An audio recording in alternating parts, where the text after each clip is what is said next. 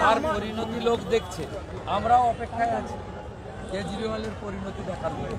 পাত্রকে যেভাবে আক্রমণ করা হলো ভীষণ, অন্যায় রেখাপাত্র ওই সংশ্লিষ্ট তৃণমূল ফাংশনারিজের বিরুদ্ধে এসসি কমিশন এবং মহিলা কমিশনে কমপ্লেন করেছে এবং ব্যবস্থা না নিলে রেখাপাত্র উচ্চ আদালতেও যাবেন একটা দলিত মহিলা তার পার্সোনাল ফোন নাম্বার সহ যেটা এক্সপোজ করেছেন এটা অত্যন্ত গৌরিত কাজ। আর এই স্বাস্থ্যসাথী হোক যাই হোক তৃণমূল মনে করে কি ট্যাক্সের টাকাটা কি ওদের পার্টির টাকা নাকি? পার্টি স্কিম নাকি? আজকে গেলেন না।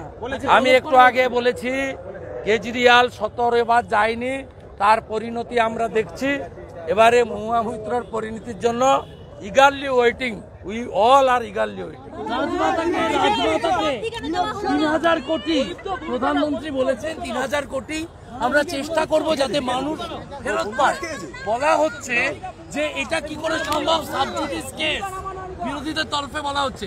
ইডি ইডি ইডি যে পদ্ধতিতে মেহুল চস্কি নেরুপ মোদীর সম্পত্তি বিজয় মালিয়ার সম্পত্তি বাজেয়াপ্ত করে ভারতবর্ষের ব্যাংকের টাকা বিরাশি পার্সেন্ট ফিরিয়ে দিয়েছে। এখানেও রোজ ভ্যালি সারদা সহ জনগণের যে টাকা চিট হয়েছে ইডি একইভাবে ফেরানোর ব্যবস্থা করবে। এটাই প্রধানমন্ত্রীর কমিটমেন্ট চিট ফান্ডের দু কোটি লোক যারা sufferer Alchemist Saradha, Rose Valley, Pincon, iCore সহ বহু, এই এদের যে প্রপার্টি অ্যাটাচমেন্ট হয়েছে অকসান হয়েছে, তাতে ইডির কাছে তিন হাজার কোটি টাকা জমা আছে। এই টাকা ফেরানোর কাজ ইডি করবে যেভাবে বিএনবির টাকা নীরব মোদী বিজয় মালিয়ার টাকা তার প্রপার্টি অ্যাটাচমেন্ট অকসান করে বিরাশি পার্সেন্ট ফিরিয়ে দিয়েছে সেভাবে করবে। ভাইপোর দুটো বাড়ি ত্যাগ করেছে এই দুটো বাড়ি যেদিন অকসান হবে আমার কাছে দুটো লোক রেডি করা আছে আমরা ওই দুটো বাড়ি নেব এবং ওখানে ওখানে আমরা যত শহীদ করেছেন পিসি ভাইপো মিলে দুশোর বেশি বিজেপি কর্মী সেখানে তাদের পরিবারের অনাথ আশ্রম করব নির্বাচন কমিশনে নির্বাচন দাদা নির্বাচন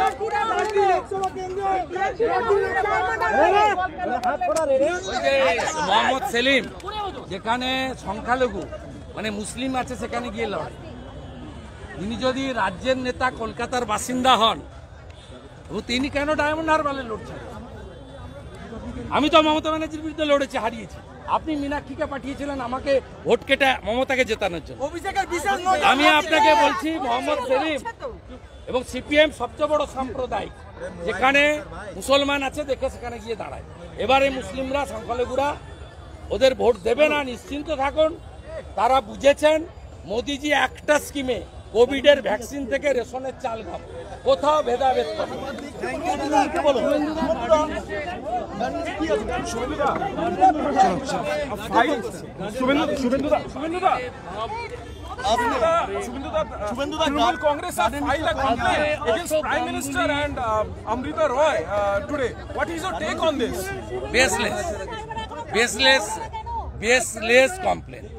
Uh-huh.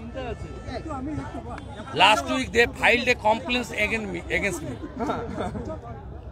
It's a baseless politically motivated complaint And, and filed a complaint against uh, Tomlu candidate, uh, former Justice Abhijit Ganguly also. no it's it's it's a only to gimmick and media publicity nothing else আজকে illegal building নিয়ে অশোক গাঙ্গুলি তিনি দেখা গেল press meet করছিলেন mayor সরাসরি press মিটের মাঝে অশোক গাঙ্গুলিকে ফোন করেছেন এরমটাই অভিযোগ জানা গেল আটশোটা বেআইনি বাড়ি আছে এইট হান্ড্রেড বেআইনি বাড়ি আছে গার্ডেন নিচে এবং সবগুলোর সঙ্গে ববি হাকিমের মিলা ভাগাত শেয়ার। এর আগে একজনের বাড়ি থেকে, আমিরের বাড়ি থেকে, আমির খানের বাড়ি থেকে সতেরো কোটি টাকা উদ্ধার হয়েছে।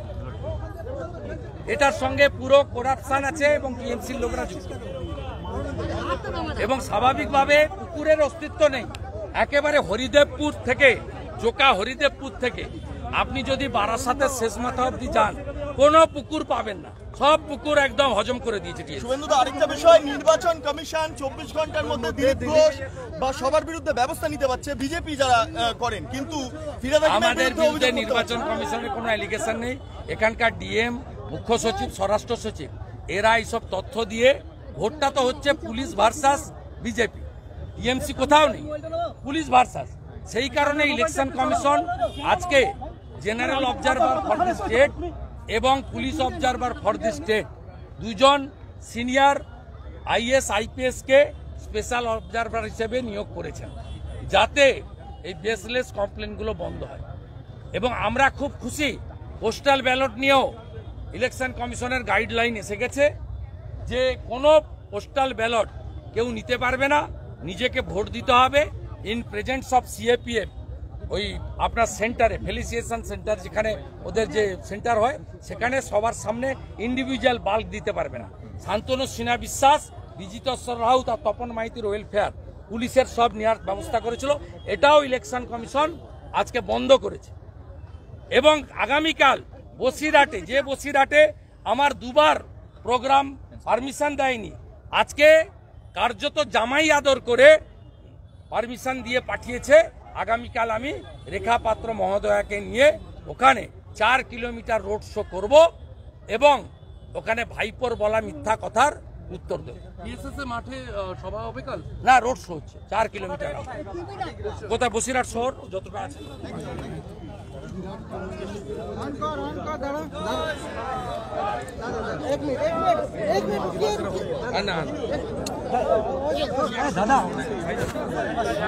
না, না करने के लिए आए हैं क्या कहना चाहिए कहा जाता है कि लेफ़्ट का गढ़ है। सीट लेफ़्ट कोई लेफ़्ट नहीं लेफ़्ट वोट वोट फाइनेंस करके टीएमसी को जिताने का काम कर रहा है इक्कीस में किया इस बार नहीं होगा। ये वोट देश की वोट है। CPIM fully relevant in West Bengal Tripura में भी खत्म हो गया। लेफ़्ट को लोग क्यों वोट देगा? टीएमसी का क्या है? ये देश का वोट है। मोदी जी को तीसरी बार प्राइम मिनिस्टर करने का है इस बार जादवपुर में भी हमारी उम्मीद ज़्यादा है।